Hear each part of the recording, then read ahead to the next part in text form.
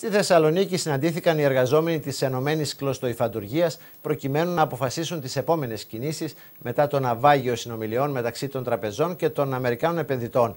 Στη συνάντηση συμμετείχαν εργαζόμενοι από την Αλεξανδρούπολη και την Κομωτινή. Όπως δήλωσε ο γραμματέας του Συλλόγου Εργαζομένων του πρώην Νότο Εύρος Ζήσης Κουκουζίκας, εδώ και πέρα, από εδώ και πέρα, μέσω νομικών τους εκπροσώπων, θα επιδιώξουν να κατοχυρώσουν οι εργαζόμενοι τα εργασιακά τους δικαιώματα.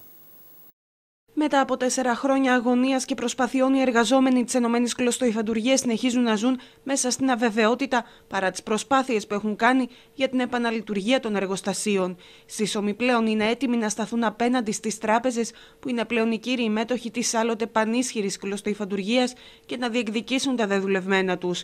Οι εργαζόμενοι συναντήθηκαν στη Θεσσαλονίκη για να συντονίσουν τον αγώνα τους και να αποφασίσουν για τις νέες τους κινήσεις μετά και το ναυάγιο των συνομιλιών μεταξύ των τραπεζικών καταστημάτων και των Αμερικάνων επενδυτών που τελικώς απέσυραν το ενδιαφέρον τους. Από το 2008, όταν δόθηκε και η εγγύηση του ελληνικού δημοσίου το 2010, οι τραπεζίτες μας λέγανε ότι η εγγύηση του ελληνικού δημοσίου δεν ήταν σύνομη σύμφωνα με τους, Ευρωπα... με τους κανόνες της Ευρωπαϊκής Ένωσης. Το 2011 όμως έρχεται επενδυτής και το μόνο που κάνανε 7 μήνες διαπραγματεύσεις και να διώξουν αυτόν τον επενδυτή.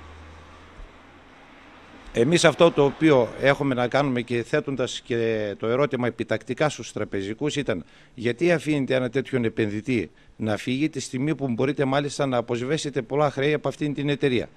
Οι τραπεζίτες σφυρίζουν αδιάφορα και μας είπαν να φέρουμε εμείς τον επενδυτή στο τραπέζι του διαλόγου.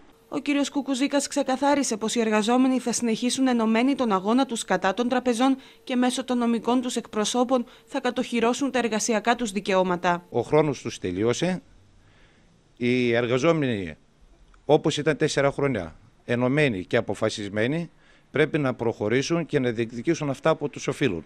Εμείς, μέσω των νομικών εκπροσώπων μας, δώσαμε εντολή άμεσα τη, μέσω της νομικής οδού να προχωρήσουν για να κατοχυρώσουμε τα δικαιώματά μας. Αυτό που μπορούμε να πούμε ότι πράγματι ο χρόνος τους τελείωσε και όταν λέμε κάντε κάτι σήμερα το εννοούμε. Δυστυχώς βρισκόμαστε στην παράταση. Ας λάβουν υπόψη όλα αυτά που τους λέμε και να προχωρήσουν να ανοίξουν την εταιρεία.